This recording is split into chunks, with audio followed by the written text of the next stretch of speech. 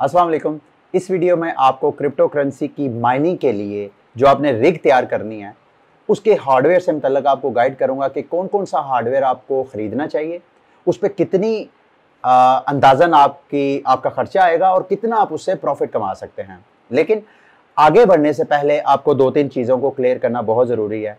सबसे पहले तो ये कि माइनिंग से मतलब मेरी ये video just for educational purpose है या पर्सनल एक्सपीरियंस के लिए है। इसका कतन ये मतलब नहीं है कि मैं आपको मोटिवेट कर रहा हूँ कि आप माइनिंग वगैरह स्टार्ट कर दें। उसकी वजह यह है कि पाकिस्तान में आपको पता है कि अभी तक क्रिप्टो ट्रेडिंग और माइनिंग वगैरह को इतनी ज़्यादा गवर्नमेंट की तरफ़ से सपोर्ट नहीं है। अब आपने पैसा कहाँ खर्च करना है? दो ऐसी चीज़ें हैं जहाँ पे आपने इन्वेस्टमेंट करनी है। एक तो है माइनिंग के लिए जो मशीन, हार्डवेयर है, उसके ऊपर आपने इन्वेस्टमेंट करनी है। आपकी ये वाली सारी इन्वेस्टमेंट एक वन टाइम इन्वेस्टमेंट है। यानी एक बार आपने हार्डवेयर बाय कर लिया, जब तक वो हार्डवेयर आपका चलता जा रहा है, वो आपके लिए पैसे छापता जा रहा है।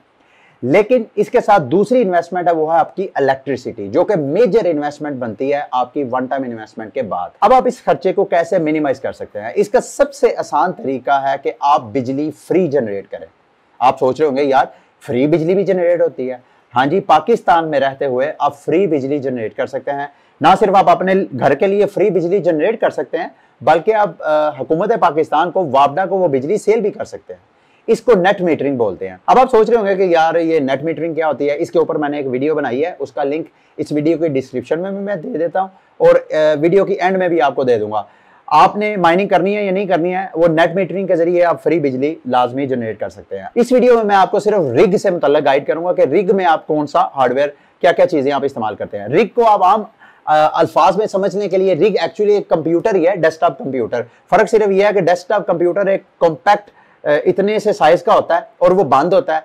ये जो है, ये ओपन होता है। ओपन रखने का मकसद दो है, एक तो एक से ज़्यादा आप ग्राफिक कार्ड यूज़ कर सकते हैं। दूसरा, अगर आप इसको ओपन रखेंगे तो चूँकि ग्राफिक कार्ड ने सारा कंप्यूटेशनल पावर यूज़ करनी होती है ग्राफिक कार्ड ने मुसलसल चलना होता है तो उससे हीट पैदा होती है। और अगर आप डेस्कटॉप के अंदर रखेंगे तो वो आपके लिए हीट प्रॉब्लम हो सकती है और वो आपकी मशीन खराब भी हो सकती है और बंद भी हो सकती है। इस वक्त अगर आपको स्क्रीन नज़र आ रही है तो कौन कौन से हार्डवेयर आपको चाहिए एक रिग को सेटअप करने के लिए, उसकी पूरी लिस्ट मैंने स्क्रीन पे दी हुई है। सबसे पहले ये रिग केस है। यानी रिग आपने रिग वो फ्रेम है, जिसके ऊपर आपने अपने ग्राफिक कार्ड्स को प्लेस करना है, जहाँ पे आपने अपने सारे दूसरे जो हार्डवेयर हैं, जैसे मदरबोर्ड है पावर सप्लाई वगैरह, ये सारा कुछ यहाँ पे आपने सेटअप करना है। अच्छा ये बने बनाए केस भी आपको नेट पे मिल जाएँगे। ये आप खुद भी तैयार करवा सकते हैं। अगर आप के पास कोई कारपेंटर है, उससे भी करवा सकते हैं, या किसी स्टेनलेस स्टील का स्टील का काम करने वाले, उससे भी करवा सकते हैं। अगर आपने इस झंझट में नहीं पढ़ना तो आप इधर अली एक्सप्रेस पे आए, स्क्रीन पे आपको नज़र आ रहा है, यहाँ पे मैंने रिग केस लिखा है। यहाँ पे आप देख रहे हैं, मुख्तलिफ़ मुख्तलिफ़ किस्म के आपको सेलर्स नज़र आ रहे हैं, और हर रिग की डिफरेंट डिफरेंट प्राइस है।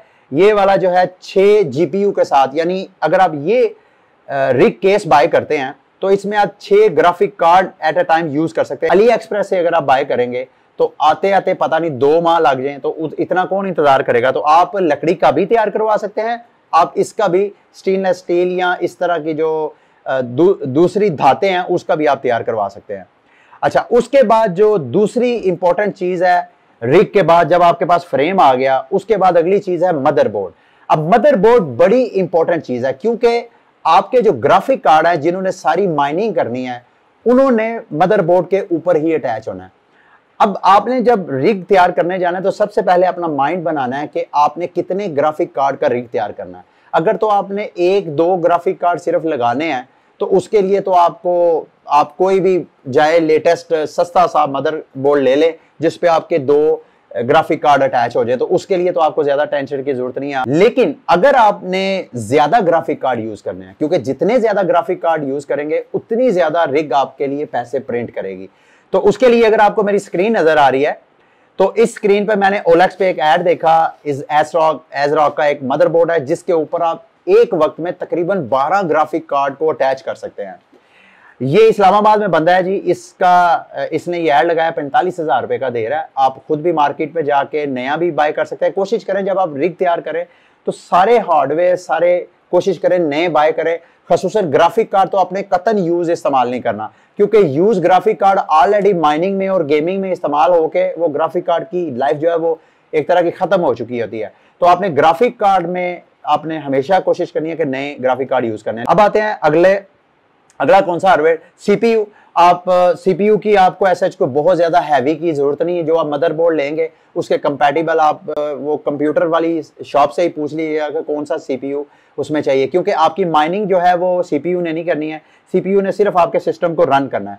इसी तरह अब आ जाते हैं दूसरी इंपॉर्टेंट चीज़, वो है पावर सप्लाई पावर सप्लाई पे आपने बड़ा फोकस करना है। जिस कंप्यूटर वाले से आप अपना रिग तैयार करवाएँगे या सारे हार्डवेयर लेंगे, उसी से पूछ लें कि यार मैंने छह ग्राफिक कार्ड यूज़ करने हैं। ये मेरे ग्राफिक कार्ड का मॉडल है।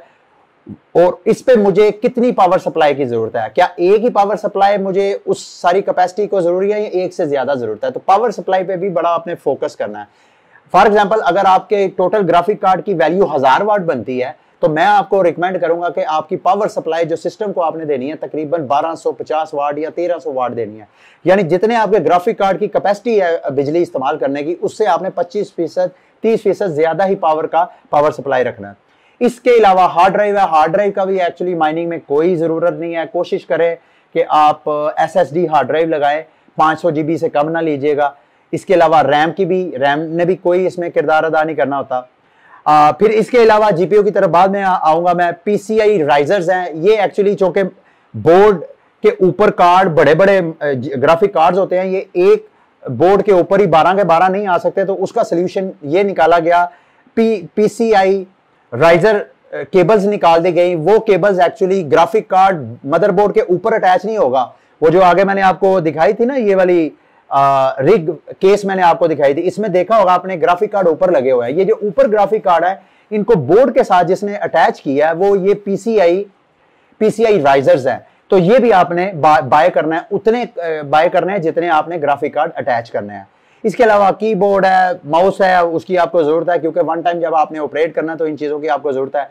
डिस्प्ले की भी ज़रूरत है और वाईफाई की भी ज़रूरत है क्योंकि नेट आपने जैसे आपने बिजली देनी है इसी तरह मुस्तकिल अच्छे कनेक्शन वाला जो आ, आ, मतलब बंद ना होता हो नेट नेट भी आपने मुश्किल देना है उसको। तो उसके लिए जो मदरबोर्ड वगैरह आप लेते हैं उसके साथ वाईफाई नहीं होता आपको वाईफाई की डोंगल लेनी पड़ेगी। ये वो सारे हार्डवेयर थे जिसकी आपको ज़रूरत है। अब आते हैं ग्राफिक कार्ड की तरफ़ के ग्राफिक कार्ड आपको कौन सा ज़्यादा सूटेबल रहेगा और उसकी प्राइसेस क्या है? इस, ये एक मैंने वेबसाइट खोली, अगर आपको मेरी स्क्रीन नज़र आ रही है what to mine dot com यहाँ पे आपने ये जीपीओ की ऑप्शन में अगर जाएँ तो यहाँ पे हर जो ग्राफिक कार्ड है फॉर एग्ज़ाम्पल अगर आप एक शॉपकीपर के पास जाते हैं, वो कहता है, जी, मेरे पास ये फ्ला मॉडल का ग्राफिक कार्ड है। आप फ़ौरन अपने मोबाइल पे उस इस वेबसाइट पे जाएँ what to mine dot com GPU पे जाएँ और इस जीपीयू पे जाके वो मॉडल सर्च करें। और जैसे ही मॉडल सर्च करेंगे तो उसकी राइट साइड पे आपको उस, वो कार्ड कितना पुराना है, कब वो रिलीज़ किया गया, उसकी डिटेल मिलेगी। दूसरा, वो कितना हैश रेट पे माइन करता है। हैश रेट का क्या है? यही जो ग्राफिक कार्ड का कमाल है कि जितनी माइनिंग है, यानी जितना वो डाटा है, उसको हैश में कन्वर्ट करके वो पजल सॉल्व करनी होती है। उसको हैश रेट बोलते हैं। जितना अच्छा हैश रेट होगा, उतनी ज़्यादा आपकी अर्निंग होगी। ये इस वक्त अगर आपको स्क्रीन पे देखें तो एनवीडिया का जो लेटेस्ट मॉडल है 3090 उसका हैश रेट है 238 मेगा हैश पर सेकंड यानी एक सेकंड के अंदर ये दो अठतीस मेगा हैशेस क्रिएट करता है। फॉर एग्ज़ाम्पल मैं एक कार्ड लगाता हूँ तो उस एक कार्ड की 24 घंटे में जो अर्निंग है, तकरीबन सात डॉलर बनती है। अब मैं ये सात डॉलर ओवरऑल इसकी प्राइस है। अब मैं कौन सा कॉइन माइंड करता हूँ? हर कॉइन की डिफरेंट डिफरेंट एवरेज प्राइस है। अगर मैं ये ऑटो क्लिटो करता हूँ तो 6.59 उसकी पर डे की 24 घंटे की अर्निंग बनेगी। अगर मैं इथीरियम माइंड करता हूँ, इस कार्ड के ज़रिए तो उसकी 6.50 रेट बनेगा। ये रेट वेरी करता है, ये सिर्फ़ प्रोबेबल रेट की बात की गई है। इसके अलावा दीगर आपने जितने भी कार्ड्स हैं जो आपको मार्केट में अवेलेबल है, उस सारे कार्ड को आप यहाँ पे चेक कर सकते हैं। यहाँ पे रही बात प्राइसेस की फॉर एग्जांपल ये ऊपर वाला मैंने थर्टी नाइनटी चेक किया था कि मैं ओलेक्स पे चेक करूँ अली एक्सप्रेस पे चेक करूँ तो मुझे तो वो मिला ही नहीं है।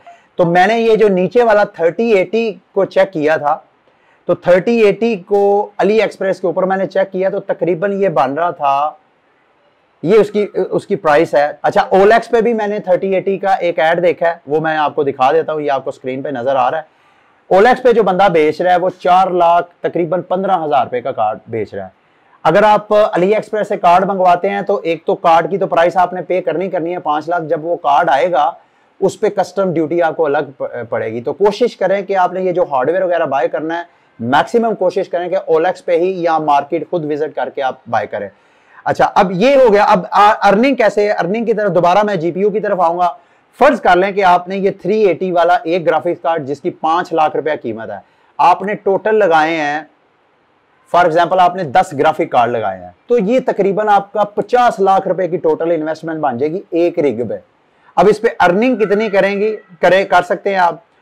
फॉर एग्ज़ाम्पल ये 5.5.72 आपको स्क्रीन पे नज़र आ रहा है, ये पर डे की एक कार्ड की अर्निंग है। क्योंकि आपने 10 लगाए थे 10 मल्टीप्लाई बाय 5.72 जो पर डे की आपकी अर्निंग बनेगी, वो तकरीबन 55 या सतावन डॉलर बनेगी। उनको आप 30 डे के साथ मल्टीप्लाई करें तो ये आपको, अगर आपने 50 लाख रुपए इन्वेस्ट कर दिया है ना तो आपको ये वाला कार्ड ये वाले 10 ग्राफिक कार्ड जिसके ऊपर आपने 50 लाख रुपए इन्वेस्ट किया है, उसकी जो वैल्यू बनेगी, तकरीबन हर माह आपको ये ढाई लाख रुपया रिटर्न करेंगे। इसके अलावा ये जो जाते जाते मैं आपको वेबसाइट दिखाना चाहता था, ये है नाइस हैश डॉट कॉम इस वक्त, इस वेबसाइट के थ्रू मैं अपने लैपटॉप पे भी माइनिंग कर सकता हूँ। वो कैसे कर सकता हूँ? ये स्क्रीन पे आप देखें, जैसे ही आप nice hash dot com website को खोलेंगे, अपने कंप्यूटर पे या अपने लैपटॉप पे, या जब आप रिग सेटअप कर लेंगे तो वहाँ पे जाके खोलेंगे। सबसे पहले आपने करना है चेक योर प्रॉफिट इसके ऊपर आपने क्लिक करना है। जैसे ही आप क्लिक करेंगे तो वो आपके हार्डवेयर को डिटेक्ट करेगा जो हार्ड जिस हार्डवेयर के ऊपर आपने ये वेबसाइट खोली है। क्योंकि मैंने इस वक्त इसको इस वक्त अपने लैपटॉप पे खोला है तो मैं इसे कहूँगा कि ऑटो डिटेक्ट करे मेरे हार्डवेयर को कि मेरी मशीन क्या मशीनरी लगी हुई है। इसको मैं ऐसे क्लिक करूँगा यहाँ पे ये देखें नीचे आ, ये नीचे डिटेक्ट करना शुरू हो गया। अच्छा ये प्रोसेस सारा खत्म हो गया और आपको ये इस वक्त स्क्रीन पर रिज़ल्ट नज़र आ रहा है इसने जो ऑटो डिटेक्ट किया है एक तो मेरा प्रोसेसर कौन सा है? सीपीयू मेरे लैपटॉप का आई सेवन प्रोसेसर है एट जनरेशन और साथ ग्राफिक कार्ड जो मेरे लैपटॉप के अंदर लगा लगा हुआ है, वो G T X ten fifty T I लगा हुआ है। अगर मैं इस पे इसको माइंड करता हूँ, ये शो अर्निंग पे क्लिक करता हूँ तो यहाँ पे मेरी अर्निंग कैलकुलेट करके वो मुझे बता देगा कि कितनी मेरी अर्निंग बनेगी। अगर मैं इस लैपटॉप पे अर्निंग करता हूँ ट्वेंटी फोर आवर्स तो पर डे की जो मेरी अर्निंग बनती है, वो zero point three seven dollar बनती है। तो इसी तरह जब भी आप किसी भी हार्डवेयर पे माइनिंग करना चाहें nice hash dot com website पर जाके डिटेक्ट करें कि उस पर आप 24 फोर आवर्स में कितनी अर्निंग करेंगे। अगली वीडियो तक के लिए मुझे इजाज़त दें। अल्लाह हाफिज़।